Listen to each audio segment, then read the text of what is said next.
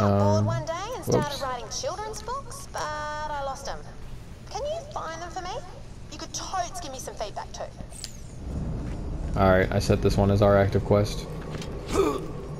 You have pick up Echo Story as yours? Alright, let's do it. Yeah, we'll just do like one or two quests on here. This game actually does seem pretty...